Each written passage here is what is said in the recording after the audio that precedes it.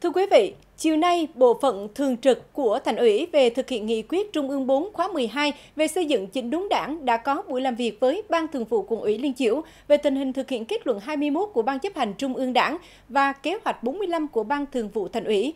Dự buổi làm việc có Ủy viên Ban chấp hành Trung ương Đảng, Bí thư Thành ủy Đà Nẵng Nguyễn Văn Quảng, Ủy viên dự khuyết Ban chấp hành Trung ương Đảng, Phó Bí thư Thường trực Thành ủy, Chủ tịch Hội đồng nhân dân thành phố Lưu Nguyễn Minh Triết và Phó Chủ tịch Ủy ban nhân dân thành phố Ngô Thị Kim Yến.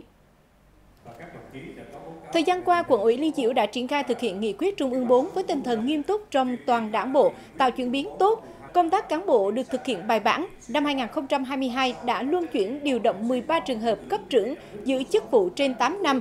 Người đứng đầu đảng chính quyền tại 5 phường đều không phải là người địa phương. Quận ủy đã từng bước xây dựng cơ chế kiểm soát quyền lực, phòng ngừa tham nhũng tiêu cực đã làm việc tại 24 đơn vị, qua đó kịp thời chứng chỉnh xử lý sai phạm. Công tác kiểm tra giám sát của đảng được chú trọng. Giai đoạn 2019-2022, quận ủy đã gợi ý kiểm điểm sâu 20 tập thể và 27 cá nhân. Riêng từ đầu nhiệm kỳ đến nay có 43 đảng viên bị cấp ủy các cấp và chi bộ xử lý kỷ luật. Quận cũng đã kịp thời chỉ đạo xử lý, kiểm điểm trên tinh thần chặt chẽ, nghiêm minh, không có vùng cấm. Qua đó có 38 trường hợp bị khai trừ, xóa tên, cho ra khỏi đảng quận ủy đã phát triển 210 đảng viên mới, phát hành 5.400 sổ tay đảng viên, trong đó có nội dung về thực hiện nghị quyết Trung ương 4. Những vấn đề nổi cộm bức xúc của nhân dân được tập trung giải quyết. Các ý kiến tại buổi làm việc đề nghị quận Liên Chiểu tiếp tục nhân rộng các mô hình hay cách làm tốt, tăng cường công tác xây dựng chỉnh đốn đảng, tập trung quản lý nhà nước các lĩnh vực dễ xảy ra sai phạm như giải tỏa đền bù, quản lý đô thị, giáo dục đào tạo, qua triển khai mô hình chính quyền đô thị cần ra soát lại để khắc phục các bất cập, nâng cao hiệu quả đối thoại với nhân dân, đẩy mạnh cải cách hành chính, tăng cường phòng chống tham nhũng tiêu cực, tích cực nêu gương, học và làm theo bác.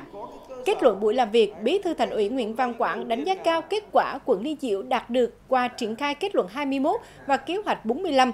Trong bối cảnh mới, quận cần có những cách làm mới phù hợp với thực tiễn địa phương. Công tác xây dựng chỉnh đốn đảng và hệ thống chính trị là biện pháp căn cơ cốt lõi quận cần ra soát các nhiệm vụ để triển khai đầy đủ phù hợp. Trong sơ kết giữa nhiệm kỳ 2020-2025 cũng cần đánh giá lại một cách toàn diện. Bí thư thành ủy cũng đề nghị quận Liên Chiểu tập trung công tác phát triển đảng viên. Phát triển đảng viên ở khu dân cư, phát triển đảng viên trong lĩnh vực giáo dục, trong học sinh sinh viên và trong công nhân riêng liên triều là tôi thấy hội tụ đủ ba cái yếu tố đấy. Những vấn đề đó chúng ta phải rất đáng quan tâm. Và không phải là không có cách nào. Câu chuyện đặt ra vì sao?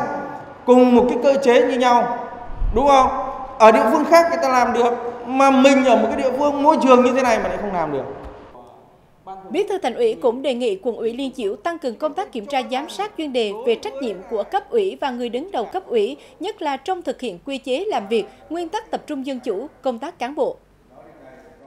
Kiểm tra giám sát đánh giá về năng lực lãnh đạo của cấp ủy, người đứng đầu trong việc thực hiện các nhiệm vụ chính trị. Cái việc này tôi đề nghị là gắn với những cái địa bàn mà công chí xác định là nhạy cảm phức tạp rồi những nơi mà công chí xác định là nội bộ chưa đoàn kết Bí thư Thành ủy cũng đề nghị quận tiếp tục thực hiện hiệu quả đề án cải cách hành chính trong đảng, tập trung lãnh đạo chỉ đạo phát triển quận Liên Chiểu theo nghị quyết số 10 của Ban Thường vụ Thành ủy, phải quyết tâm, quyết liệt và quyết đoán.